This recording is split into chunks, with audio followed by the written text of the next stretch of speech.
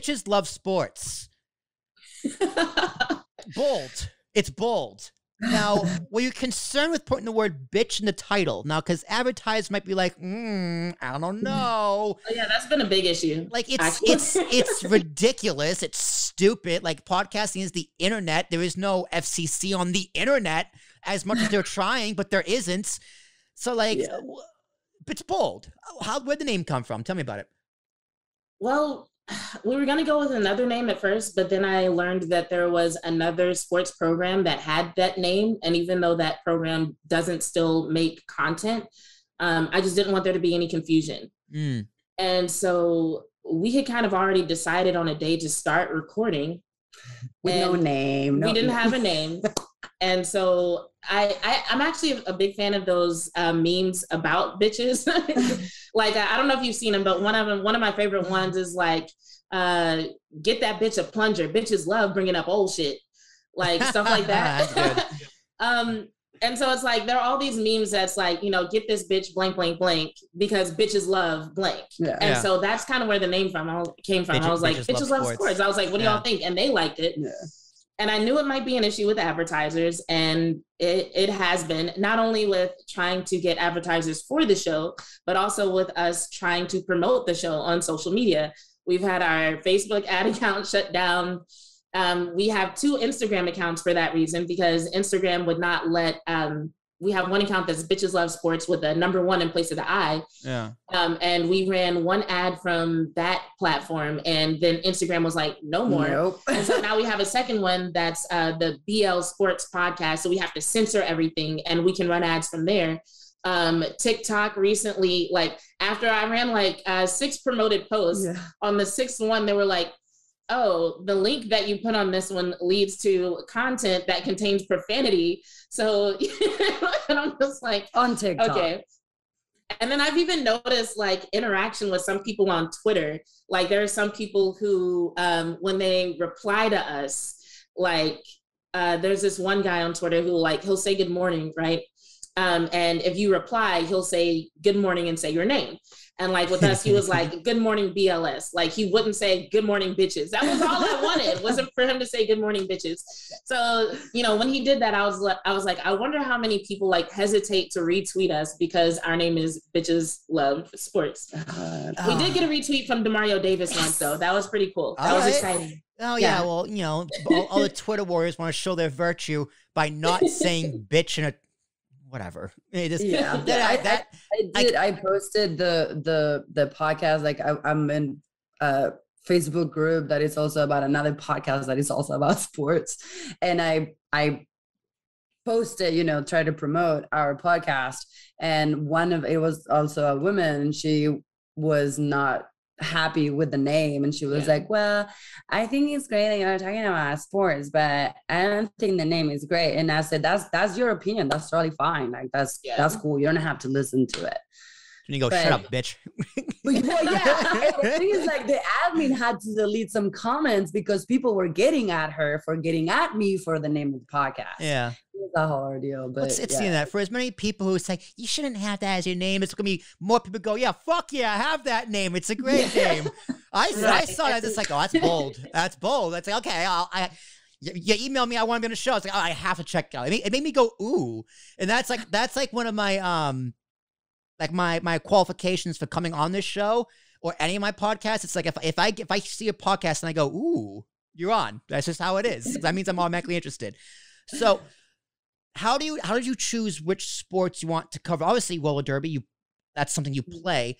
Uh, football and basketball. Now, do you do you how, why why those sports in particular? I know you you want to structure it for like an hour show or a forty five minute show, et cetera, et cetera. But why those sports specifically? Um, those are just the ones that we happen to get the most excited about talking about, honestly. When we first started the show, our podcast is relatively young. We started yeah. what in July? August, July, July. Yeah, our first episode mm-hmm. came out mid-July. And the first things that we talked about were the playoffs going on. Mm-hmm. And, you know, we're big fans of Devin Booker and Giannis Antetokounmpo. I'm like, if you don't say it. and so that that was pretty much the basis of our first episode. That, and I think we ended up talking about a couple of other things that were going on in tennis. We did, maybe. yeah, and then the Olympics. We covered the yeah, Olympics and, a lot. Yeah, the too. Olympics started shortly after our podcast started. Yeah, and so football and basketball just ended up what we were the most excited about. Those are the sports where we have the most players that we're fans of, yeah. and so that's why we didn't cover the World Series as much normally I would have at least mentioned it in a shout out or call out, but I just so happened to have a hectic couple of weeks when that was wrapping up and it just it didn't make it my bad. Like the last episode right. we recorded, I didn't even have any notes for it. So right, stick stick to your stick to your niche. Stick to exactly. your. Sports sports is too broad to cover everything unless you just oh, read yeah. unless you just read headlines. So and, and, right. and, and it's on a 24 hour news cycle now. Exactly. Like there are sometimes when we're recording and I'll be like, hold up, let me Google this just to make sure there weren't any new developments today. Yeah, right, right.